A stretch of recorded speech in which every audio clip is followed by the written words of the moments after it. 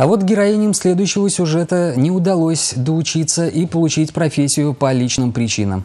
Молодые мамы идут учиться. Новый пилотный проект стартовал в 50 регионах России. В нашей республике экспериментальной площадкой стал Чувашский государственный университет имени Ульянова.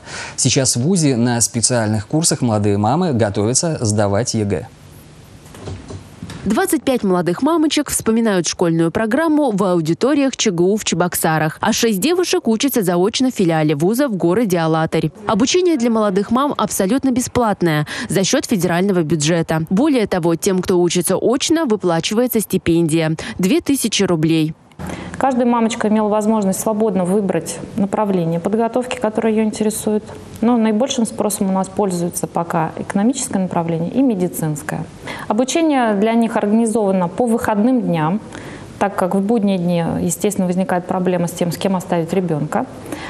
Обучение на подготовительных курсах позволит молодым мамам наравне с выпускниками школ поступить в любой вуз. Но есть определенные условия приема девушек на подготовительное отделение. Возраст не более 23 лет, наличие одного ребенка и более, отсутствие высшего образования. Аня после школы закончила училище, вышла замуж и родила ребенка. А когда дочке исполнилось два года, поняла, что хочет учиться дальше. О курсах ей рассказала подруга.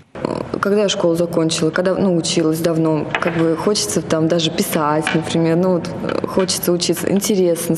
Ребенку Татьяны всего 4 месяца, но она тоже решила попробовать себя на прочность. Пока готовится сдавать ЕГЭ, мечтает работать в банке.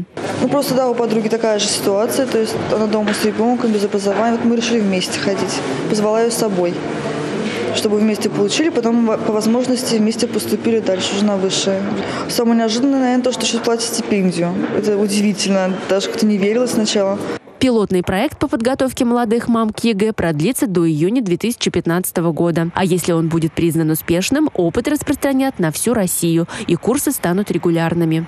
Татьяна Трофимова, Евгений Анисимов, Республика.